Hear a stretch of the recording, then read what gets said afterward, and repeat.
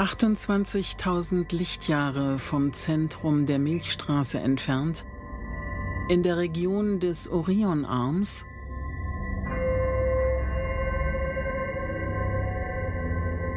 fällt ein Nebel in sich zusammen.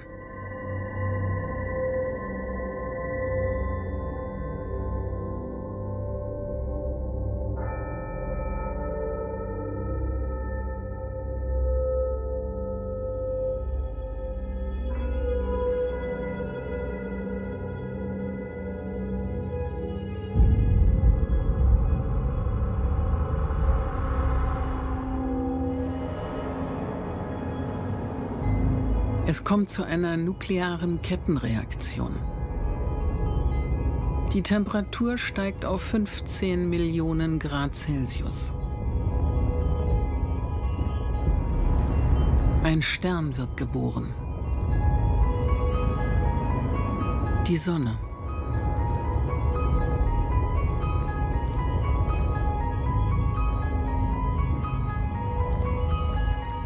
Die Geschichte unseres Sonnensystems beginnt.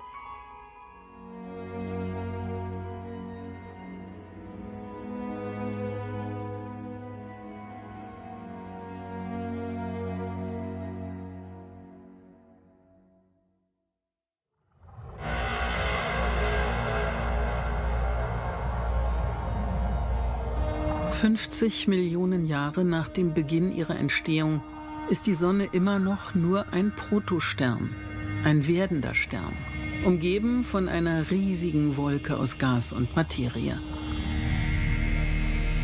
Nach weiteren 10 Millionen Jahren nehmen vier Riesenplaneten allmählich Gestalt an.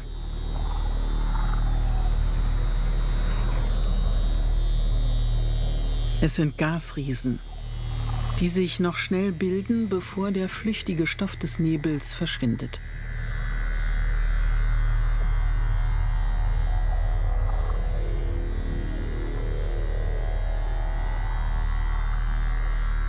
Jupiter ist bereits 50 Mal so groß wie die Erde.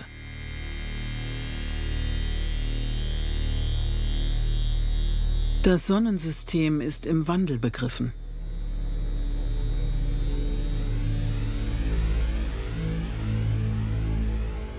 Nachdem sie sich erst auf die Sonne zubewegt haben, entfernen sich Jupiter und Saturn nun wieder von ihrem Stern und wandern nach außen. Auf ihrem Weg wirbeln sie die Asteroidengürtel durcheinander.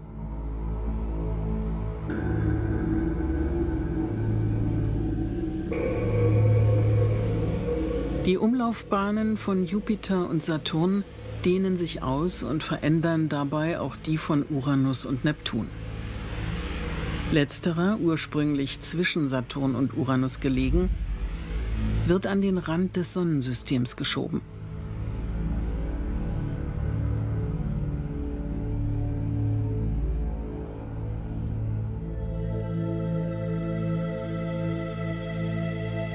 Näher an der Sonne wird die leichtere, flüchtige Materie durch schwerere ersetzt. Gesteinsstaub und Metalle.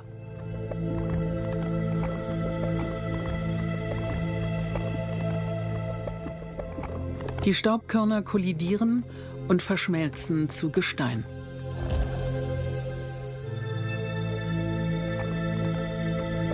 Dann zu größeren Felsbrocken. Felsbrocken, die schließlich schwer genug sind, um ihre eigene Schwerkraft zu erzeugen und Materie anzuziehen. Auf diese Weise entstehen Gesteinsplaneten, die als tellurisch erdähnlich bezeichnet werden. In unserem Sonnensystem gibt es vier davon. Möglicherweise existieren in den frühen Tagen des Sonnensystems noch viel mehr von ihnen. Kleinere Planeten, die an den Rand des Systems gedrängt oder von den Gravitationskräften der Sonne verschluckt werden.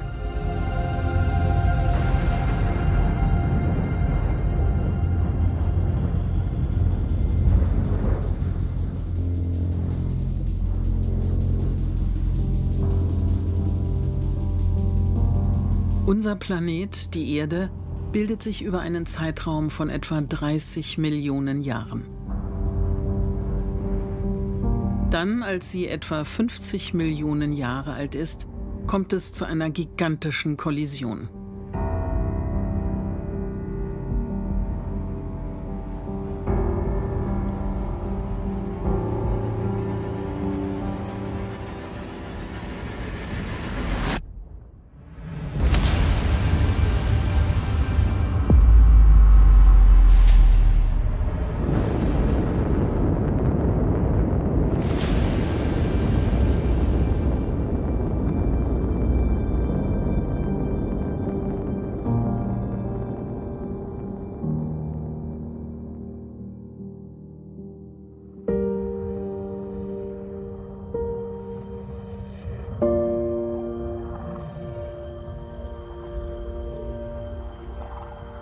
Bei dem Zusammenprall werden Trümmer und Teile des Erdmantels ins All geschleudert. In der Umlaufbahn sammeln und verdichten sie sich und bilden den Mond.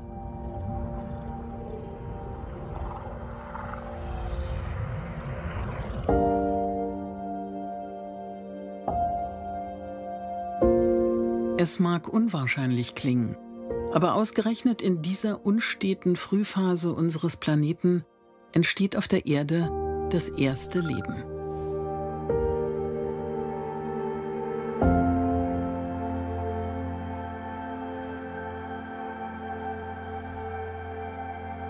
Vor etwa vier Milliarden Jahren.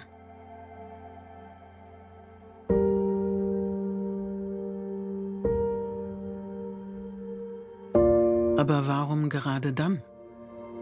Und wie kann es sich überhaupt entwickeln?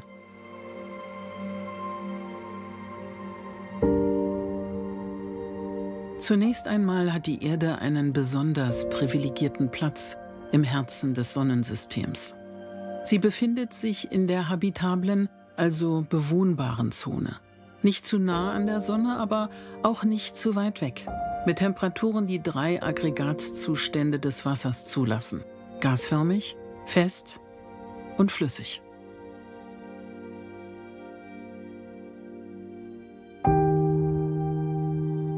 Denn so geheimnisvoll die Entstehung des Lebens auch sein mag, eines ist sicher. Es wird im Wasser geboren.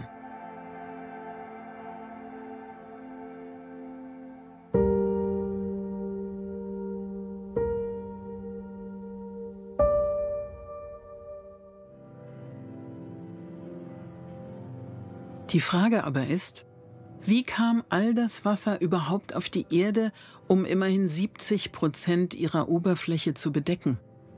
Der Mond liefert einige Anhaltspunkte.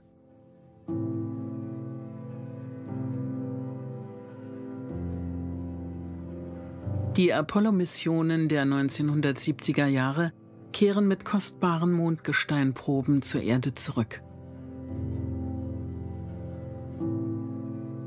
Die Untersuchungen ergeben, dass der Mond vor 4,1 bis 3,9 Milliarden Jahren einem intensiven Bombardement ausgesetzt war. In Form von Kometen und Meteoritenschauern, genau wie übrigens auch die Erde.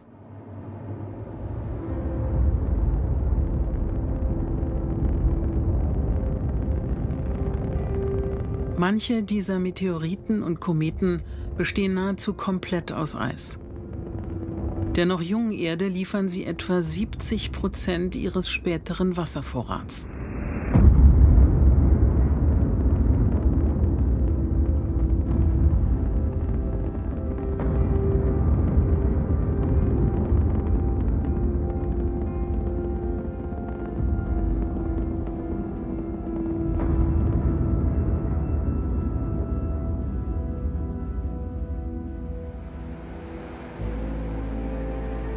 übrigen 30 Prozent sind bereits vorhanden, als sich die Erde herausbildet.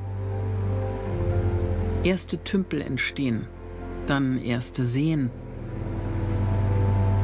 Schließlich werden die Seen zu Meeren und die Meere zu Ozeanen.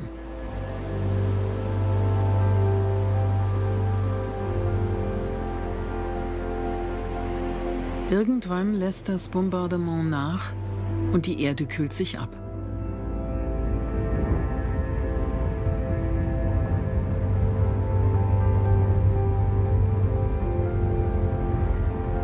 Dann vor etwa 3,8 Milliarden Jahren tauchen in heißen vulkanischen Quellen die ersten einzelligen Organismen auf.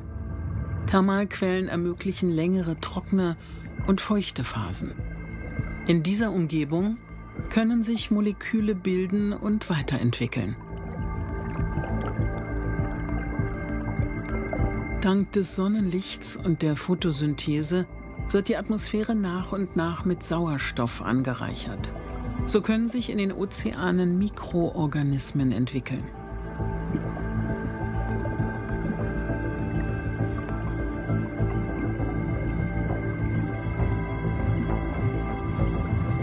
Es ist der Beginn der erstaunlichen Reise des Lebens, der Evolution. Aber könnte sich dieser Prozess auch anderswo abgespielt haben? Auf Planeten, die anders sind als die Erde?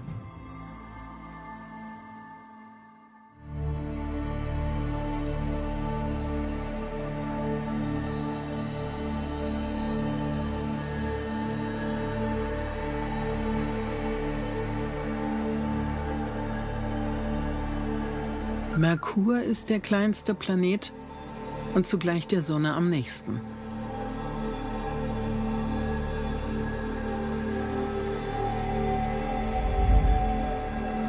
Er ist etwa so groß wie unser Mond. Auf dem Merkur herrschen extreme Bedingungen. Auf seiner Tagseite steigen die Temperaturen bis 430 Grad Celsius. Gleichzeitig fallen sie auf der Nachtseite auf bis zu minus 170 Grad.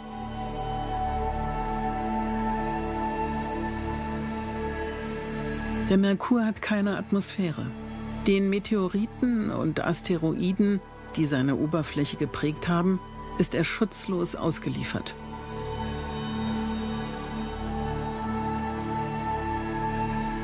Merkur ist der Planet mit der höchsten Dichte im Sonnensystem.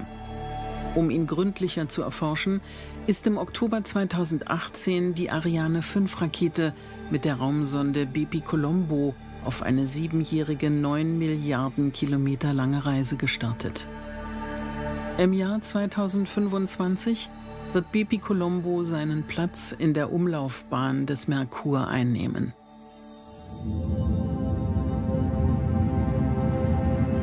Mit dabei sind die beiden kleineren Orbiter MPO und MIO. Sie werden Merkurs Magnetfeld untersuchen.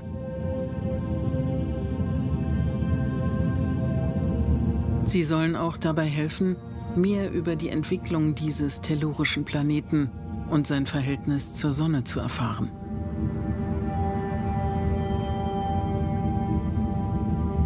Entgegen allem Anschein ist der Merkur kein toter Planet. In geologischer Hinsicht ist er offenbar ständig aktiv. Sein metallischer Kern kühlt sukzessive ab, wodurch sich der Planet zusammenzieht. Mit anderen Worten, Merkur wird kleiner. In vier Milliarden Jahren ist sein Durchmesser um rund 14 Kilometer auf heute knapp 4880 Kilometer geschrumpft.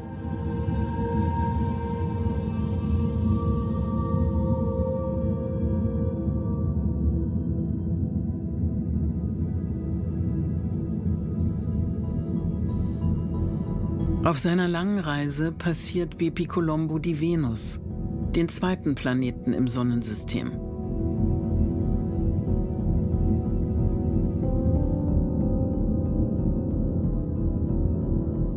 Sie ist so groß wie die Erde und könnte einst Leben beherbergt haben.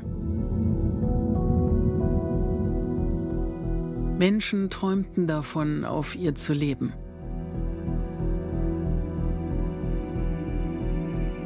Doch ab den 1970er Jahren ändert sich der Blick auf die Erdnachbarin radikal. In der Frühzeit der Weltraumforschung sind die Eigenschaften der Venus noch weitgehend unbekannt. Schließlich ist ihre Oberfläche von einer dicken Wolkenschicht umhüllt. Doch dann startet das Venera-Programm. Es ist Teil jenes Wettlaufs ins All, den sich USA und UdSSR während des Kalten Krieges liefern. Ein Rennen um wissenschaftliche und politische Vorherrschaft. Die sowjetischen Raumsonden des Venera-Programms erkunden nach und nach die Zusammensetzung der Atmosphäre und die Beschaffenheit der Venusoberfläche.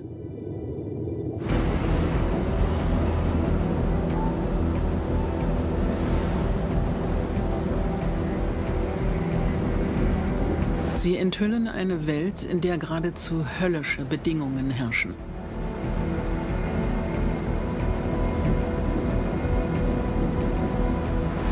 Temperaturen von 460 Grad Celsius, ein Kohlendioxidgehalt von 95 Prozent, dicke Schwefelsäurewolken. Und kein Magnetfeld, das vor Sonnenwinden und kosmischer Strahlung schützen könnte.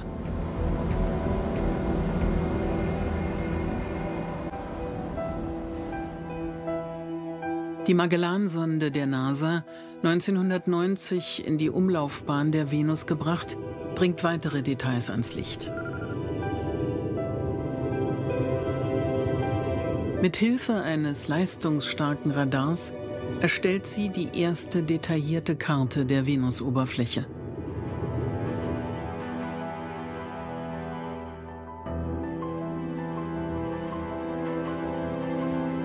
Eine Oberfläche sowohl jung als auch vulkanisch, mit riesigen Lavaebenen und Tausenden von Vulkangipfeln.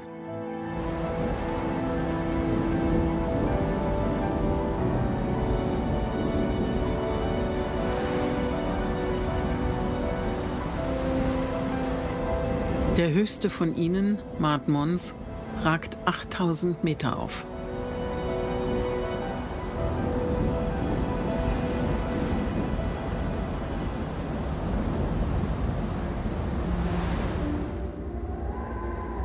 Im September 2020 glaubt ein Team der Universität Cardiff in Wales, in der Venusatmosphäre Phosphin nachgewiesen zu haben. Phosphin, auch bekannt als Phosphorwasserstoff, ist ein farbloses, geruchloses und hochgiftiges Gas. Auf der Erde wird es von Mikroorganismen produziert. Sein Vorhandensein in den Wolken der Venus wäre erstaunlich.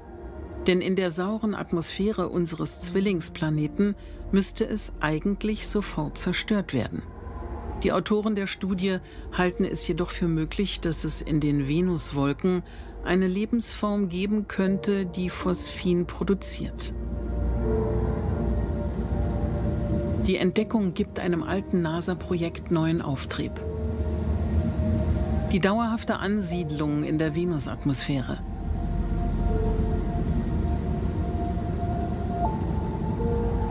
allerdings in angemessenem Abstand zur heißen Oberfläche. Idealerweise in einer Höhe von 50 Kilometern. Dort herrscht derselbe Druck wie auf der Erde. Und die Temperatur beträgt 75 Grad Celsius. Die Idee lautet, eine schwebende Stadt aus riesigen Heißluftballons zu erschaffen. Eine Kolonie, in der Dutzende von Menschen leben könnten.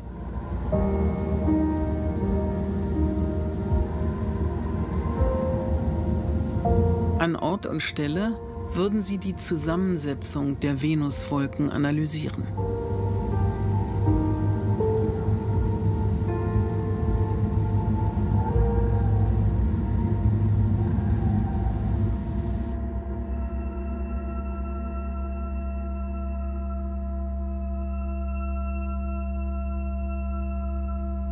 Ähnliche Pläne existieren auch für den vierten Planeten im Sonnensystem, den Mars.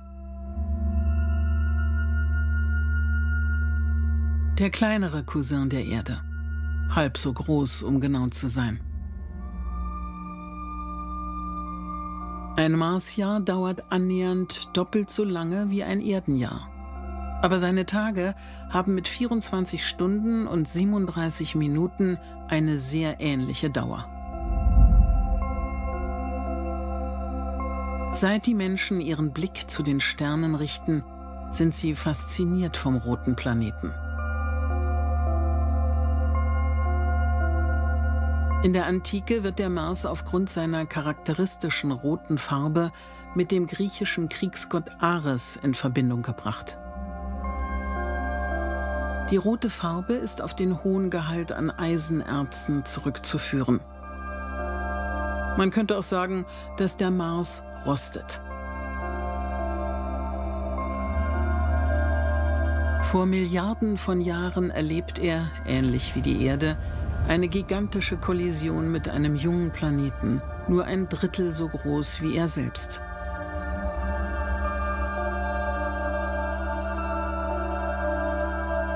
Aus den Trümmern entstehen Phobos, zu Deutsch Angst, und Deimos, Schrecken.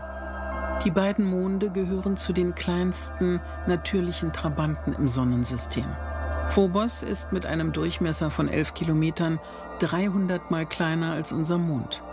Deimos misst sogar nur 6 Kilometer. Alle 100 Jahre rückt Phobos um 1,8 Kilometer näher an den Mars heran. Nach und nach wird er dabei immer heißer werden, irgendwann in Trümmer zerfallen und schließlich einen Ring um den Mars bilden.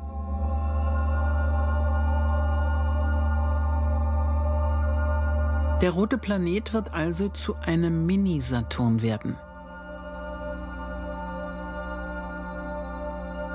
Ganz anders Deimos. Er entfernt sich immer weiter von der Marsoberfläche. Eines Tages wird er den Orbit seines Planeten verlassen und in den Weiten des Alls verschwinden.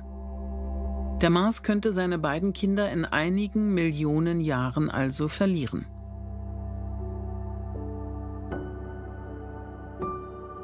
Im Jahr 1948 entdeckt Gerard Kuiper Eis in den Polkappen des Mars. Später liefern die Aufnahmen von Mariner 9 den ersten konkreten Beweis für die Existenz von Wasser. Einst muss es hier Flüsse gegeben haben.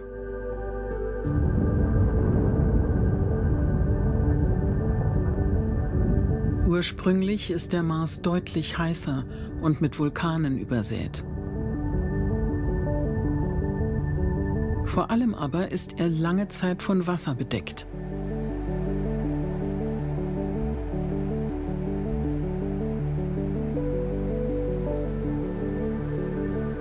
Und das wahrscheinlich für Milliarden von Jahren.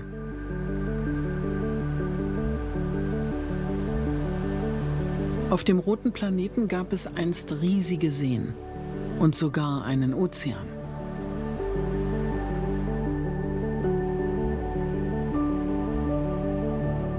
Doch mit der Zeit kühlt der Mars, der kleiner und weiter von der Sonne entfernt ist als die Erde, allmählich ab.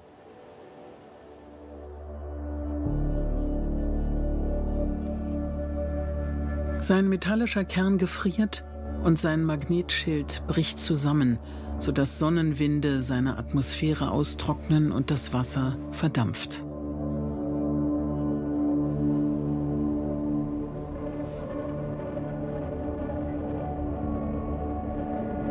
Aber wenn es hier Wasser gab und an den Polen immer noch Eis existiert, könnte es dann nicht auch Leben auf dem Mars gegeben haben? James L. Green, ehemals Chefwissenschaftler der NASA, sagt, ich glaube, dass wir kurz davor stehen, Beweise für außerirdisches Leben zu finden. Aber ich bin mir nicht sicher, ob die Welt für eine solche Nachricht bereit ist. Green glaubt, dass die nächsten beiden Mars-Missionen gute Chancen haben, Beweise für außerirdisches Leben zu liefern. Die Liste der aktuellen Mars-Missionen ist lang.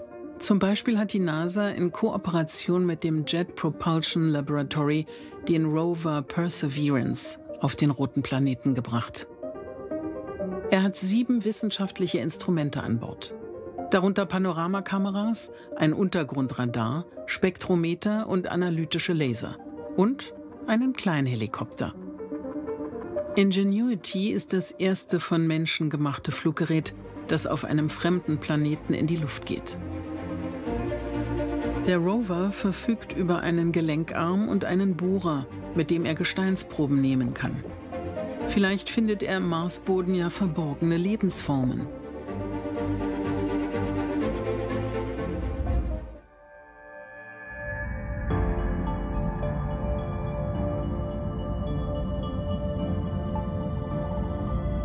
Organische Materie könnte auch auf unzähligen anderen Himmelskörpern im Asteroidengürtel zwischen Mars und Jupiter zu finden sein.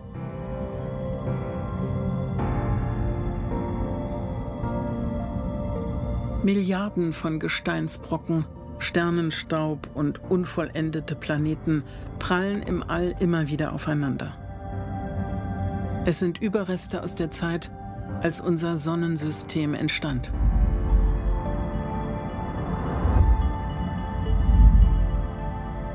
Niemand könnte sie je zählen. Die kleinsten von ihnen sind kaum mehr als große Steine. Erreichen sie die Oberfläche unserer Erde, verdienen sie sich den Namen Meteoriten. Seit 1801 wurden fast 600.000 von ihnen registriert.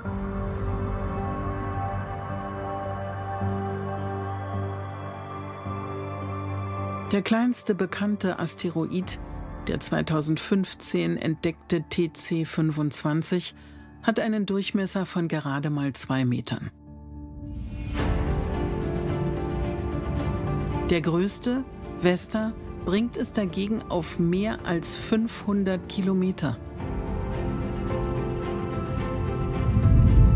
Die Zahl der Asteroiden mit einem Durchmesser von über einem Kilometer wird auf etwa 2 Millionen geschätzt.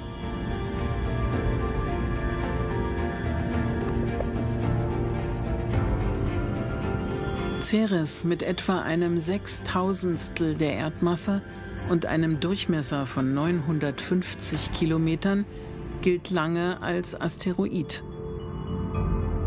Doch 2006 wird er zum Zwergplaneten befördert.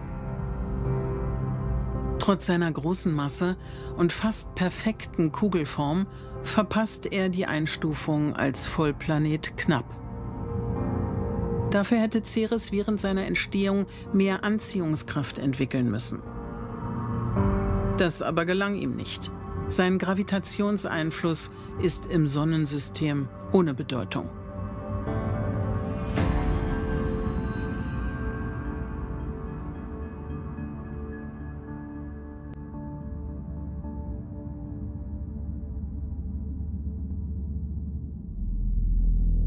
Im Januar 2017 kündigt die NASA zwei weitere Asteroidenmissionen an. Die im Jahr 2021 gestartete Sonde Lucy soll zwischen 2025 und 2033 die Asteroiden Donald Johanson, Eurybates, Polymele, Leucus, Orus und Patroclus umrunden.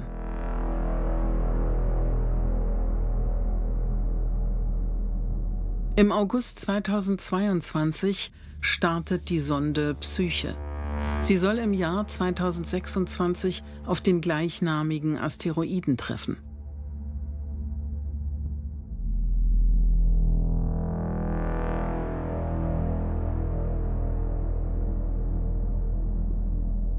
Alles deutet darauf hin, dass er aus Metall ist.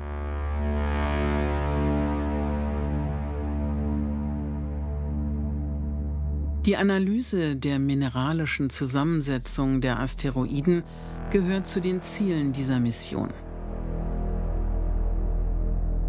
Millionen von Himmelskörpern sind reich an genau jenen Edelmetallen, die der Menschheit eines Tages fehlen werden. Daher denken Raumfahrtbehörden und Privatunternehmen zunehmend darüber nach, das Potenzial von Asteroiden auszunutzen.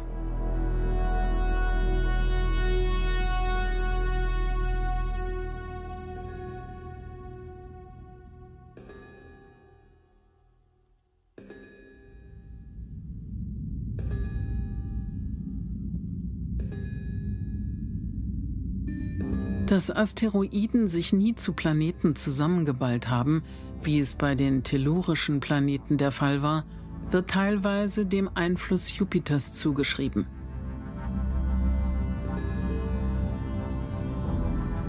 Jupiter ist der größte Planet in unserem Sonnensystem. Sein Radius ist elfmal so groß wie der der Erde. Seine Masse fast 320 Mal größer. Er besteht hauptsächlich aus Gasen und hat streng genommen keine Oberfläche. Das bedeutet, dass eine Sonde ins Innere des Jupiters eintauchen und auf der anderen Seite wieder herauskommen könnte. Vorausgesetzt, sie könnte den höllischen Temperaturen standhalten. Im Kern des Planeten in 7000 Kilometern Tiefe ist es bis zu 30.000 Grad Celsius heiß. Jupiter ist ein sogenannter gescheiterter Stern.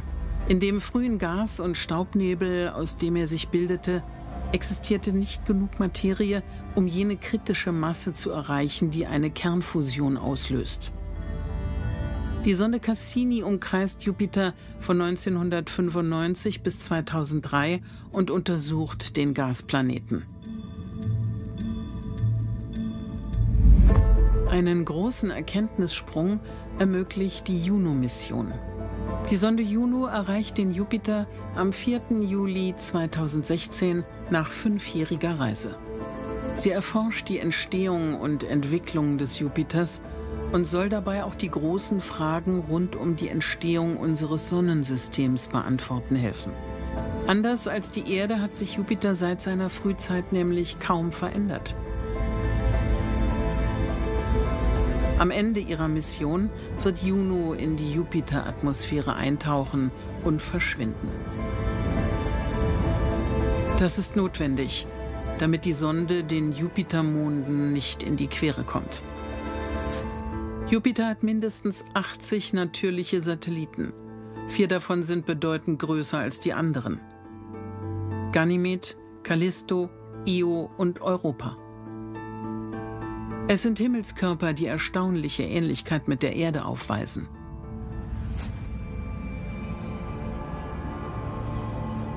Europa, fünfmal weiter von der Sonne entfernt als der blaue Planet, fasziniert die Wissenschaft seit vielen Jahren. Ende 2018 entdeckt das Hubble-Teleskop dort Wasserdampf.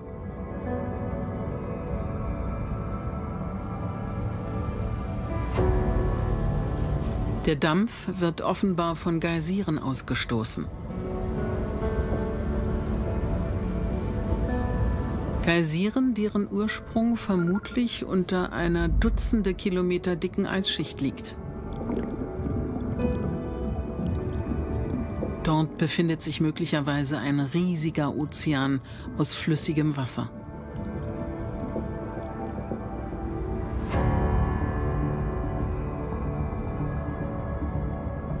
Die NASA hat die Entwicklung der Europa-Clipper-Sonde genehmigt. Sie wird voraussichtlich im Jahr 2024 starten. Geplant sind 45 Vorbeiflüge im Abstand von 25 bis 2700 Kilometern.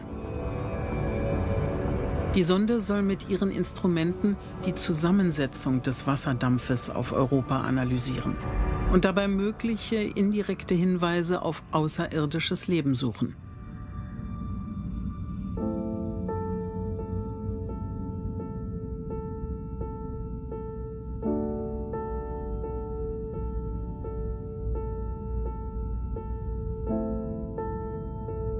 Leben existiert möglicherweise auch auf dem größten Trabanten des Saturn, Titan. Etwas größer als der Merkur ist Titan unter den Himmelskörpern seiner Größenklasse der einzige mit einer dichten Atmosphäre. Sie besteht zu etwa 95 Prozent aus Stickstoff. Auf seiner Oberfläche gibt es flüssiges Methan.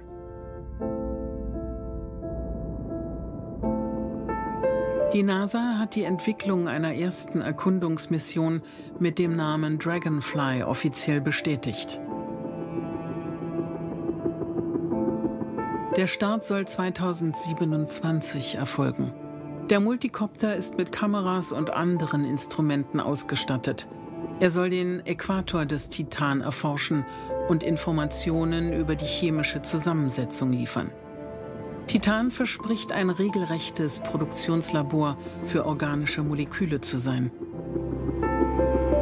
Neben der Erde ist er der einzige bekannte Himmelskörper, dessen Oberfläche flüssige Bereiche aufweist. Er hat etwa zehnmal mehr Flüssigkeit als alle Ozeane der Erde zusammen. 50 Kilometer unter seiner Oberfläche wird ein riesiger Ozean aus flüssigem Wasser vermutet, etwa 200 Kilometer tief.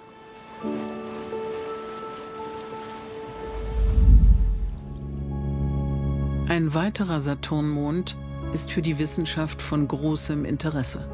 Enceladus. Enceladus ist ein kleiner Satellit mit einem Durchmesser von nur 505 Kilometern. Seine Oberfläche ist sehr hell und reflektiert fast das gesamte ankommende Licht. Bei einem Überflug im Jahr 2005 entdeckt die Cassini-Sonde in der Nähe des Südpols eine Region mit Wasserdampffontänen. Denn auch Enceladus besitzt einen unterirdischen Ozean aus flüssigem Wasser. Kommt das salzreiche Wasser mit dem felsigen Kern in Berührung, wird es in Grotten gedrückt. Dabei entsteht Dampf, der durch Spalten langsam nach oben steigt. Schließlich schießt er ins Freie.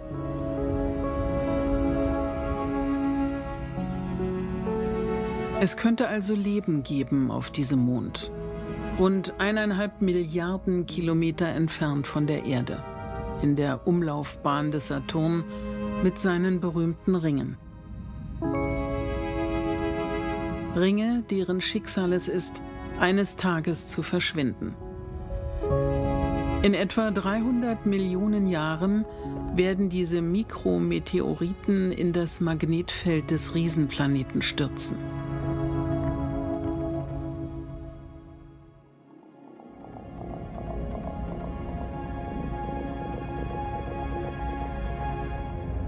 Der Planet Uranus hat 13 Ringe. Sie sind weniger komplex als die des Saturn.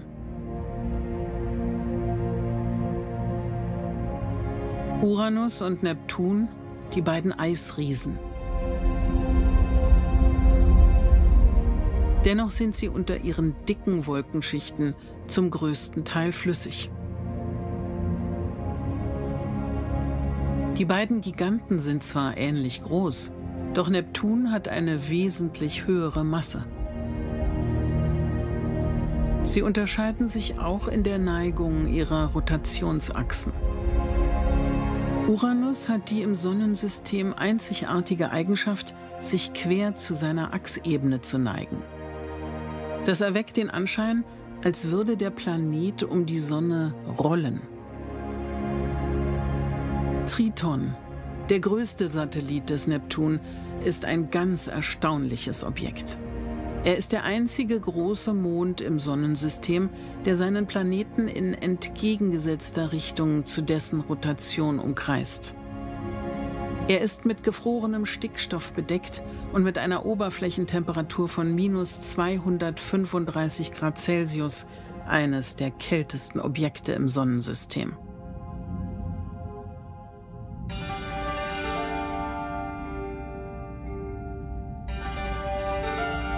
Neptuns Umlaufbahn wird von einem ehemaligen Planeten gekreuzt, Pluto. Der kleine Planetoid galt fast ein Jahrhundert lang als neunter Planet der Sonne. Im späten 20. Jahrhundert kommen in den Weiten des Sonnensystems jedoch immer mehr ähnliche Objekte zum Vorschein. Insbesondere Eris, der etwas kleiner und schwerer ist als Pluto.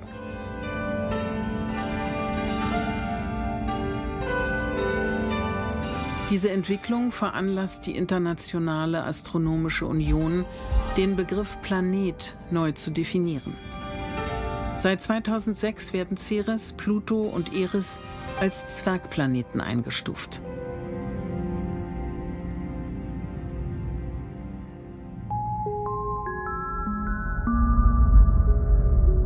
Im Januar 2006 startet die NASA-Raumsonde New Horizons. Sie erforscht erstmalig das Pluto-System. Plutos innere Zusammensetzung ist immer noch unbekannt. Simulationen auf der Grundlage der von New Horizons gelieferten Daten lassen jedoch die Existenz eines inneren Ozeans mit mehreren hundert Kilometern Tiefe möglich erscheinen.